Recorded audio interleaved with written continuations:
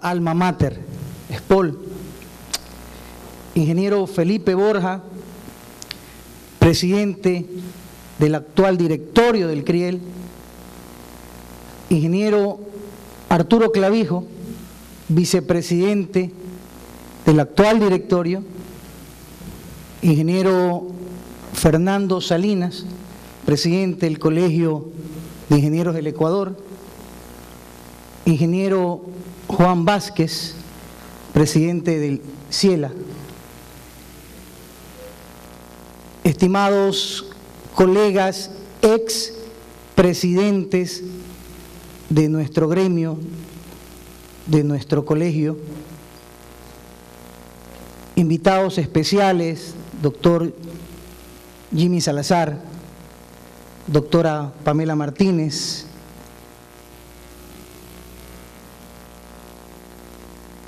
estimados amigos, amigas,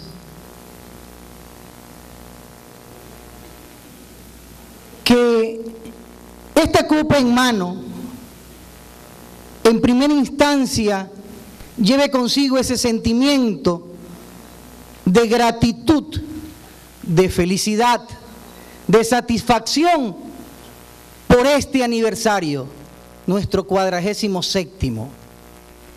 Y que paso seguido, al menos mentalmente, podamos ser recíprocos con todos aquellos que han sido baluartes para que hoy vivamos este aniversario. Me refiero específicamente a los expresidentes es miembro de directorio y demás personal que han formado a lo largo de estos 47 años esta realidad que vivimos.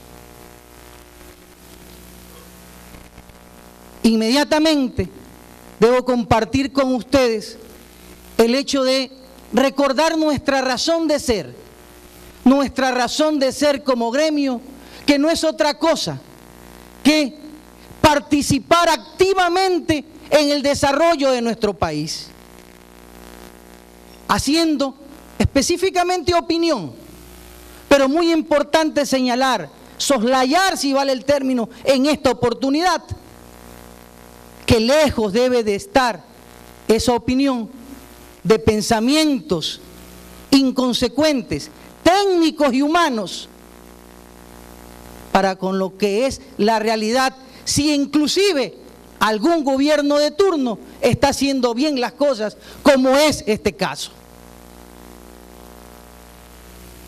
Lejos deben de estar. Y más bien debemos de ser gratos y consecuentes.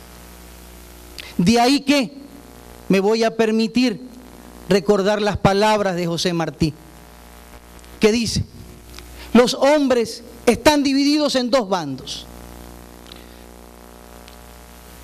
los que aman y forman y los que odian y deshacen.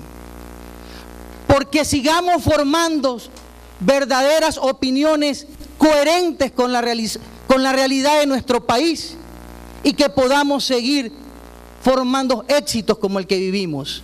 Feliz aniversario, damas y caballeros, salud.